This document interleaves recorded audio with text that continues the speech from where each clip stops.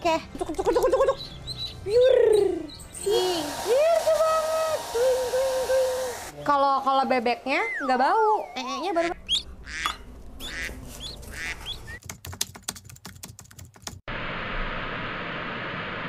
Demi bebek peliharaan, Ria Ricis minta 700 juta rupiah ke Teuku Rian buat beli tanah.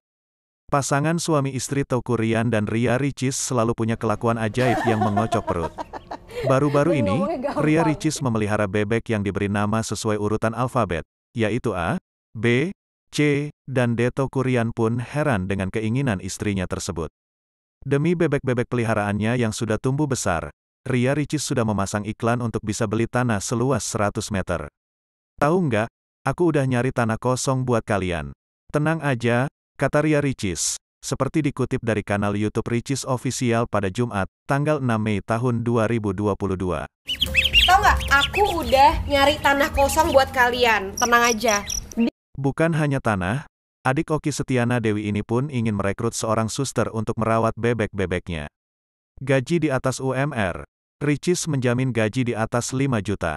Baginya yang penting adalah bebek-bebek itu tumbuh besar, bisa bertelur dan punya anak cucu. Kontak me yang punya lahan kosong. Sekalian susternya gaji di atas UMR. UMR berapa? Ah, di atas 5 lah. Keinginan Ricis untuk beli tanah yang luas, berbeda jauh dengan pemikiran Teuku Rian.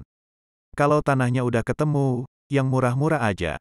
Yang sepetak-sepetak aja. Aku minta yang 100 meter, kata Ricis dengan santai. Seketika mendapat sorotan mata tidak percaya dari sang suami. Ngapain gede banget? Teuku Rian heran dengan aku tingkah ya, Ini istrinya. kan ada sepetak nih, lumayan. Tapi bau. istrinya.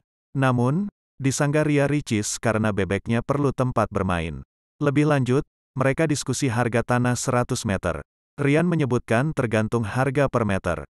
Semeternya 7 juta. Setelah diperhitungkan, Ria Ricis berpikir ulang. 700 juta 100 meter? Tanyanya. Tanpa lama-lama lagi dia langsung sepakat. Ya udah, boleh deh. Teuku Rian langsung nyebut. Beli rumah, katanya. Baginya lebih baik membeli rumah baru dibandingkan beli tanah kosong. Apalagi jika tanah itu hanya untuk pelihara bebek. Kalau kita usaha telurnya, kita jualan. Nggak apa-apa, nggak usah dijual, dikasih-kasihin aja. Orang lewat, kasih-kasihin. Lebih berkah tahu, ujar Ria Ricis. Mendengar kata keberkahan, akhirnya Teuku Rian mengizinkan. Boleh sih, ia udah minta 700 juta. Mana kartu ATM? Ria Ricis bicara seperti itu bagaikan minta uang jajan ke orang tua. Demi bebek peliharaan, Ria Ricis sampai beli tanah loh, Hopper. Ya ampun, niatnya buat bagikan telurnya keren banget. Ya, asteris asteris asteris.